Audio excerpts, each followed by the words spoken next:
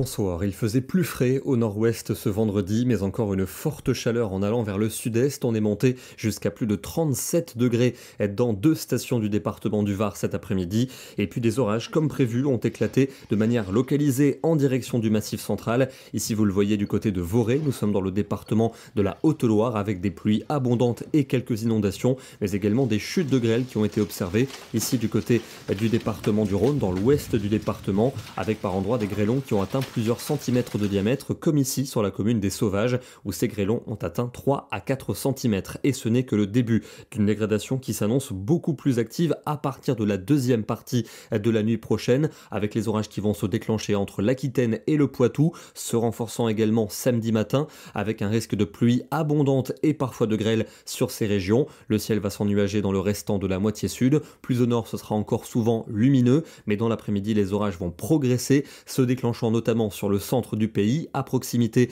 du massif central, avec un risque de chute de grêle et de pluie intense. Et ces orages vont progressivement se décaler en direction du nord-est, où ils seront particulièrement nombreux et violents en soirée. On attend de grosses grêles qui pourraient dépasser localement les 5 cm, mais aussi de puissantes rafales de vent pouvant dépasser les 100 km à l'heure, des pluies abondantes avec un risque d'inondation et une très importante activité électrique. Soyez donc particulièrement prudents. Les températures matinales sont fraîches entre la Bretagne et la Belgique, avec seulement 8 à 12 degrés, mais ailleurs il fait très doux, déjà 20 degrés pour la région Rhône-Alpes, et dans l'après-midi, les températures seront très contrastées, fraîches à l'ouest, avec seulement 20 à 22 pour les régions océaniques, mais encore très chaudes dans l'est avant les orages, avec des maximales de 30 à 32 degrés, et le ressenti promet d'être particulièrement lourd. Dimanche, on retrouve de l'instabilité à l'est, avec encore des averses localement soutenues, mais on ne parlera plus d'orages violents. Les températures vont chuter pour cette journée avec des maximales qui tomberont entre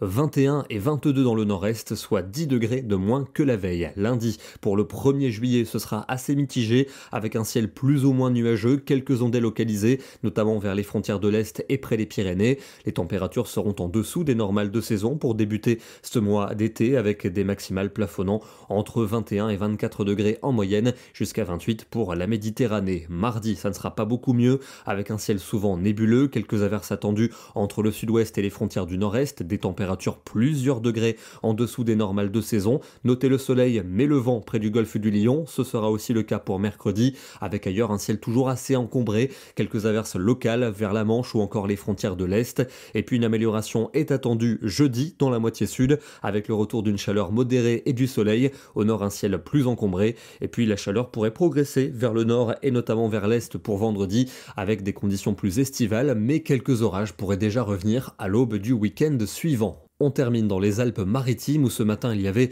des nuages sur la bande côtière et dès que l'on montait un petit peu en altitude, on passait au-dessus de cette mer de nuages avec une superbe ambiance. On note aussi le ciel d'une couleur assez particulière car en ce moment de nouvelles poussières de sable du Sahara survolent le sud-est du pays. Ce sera également le cas pour demain. Nous serons le samedi 29 juin. Nous fêtons les pôles et les pierres. Bonne soirée, bon week-end et à demain.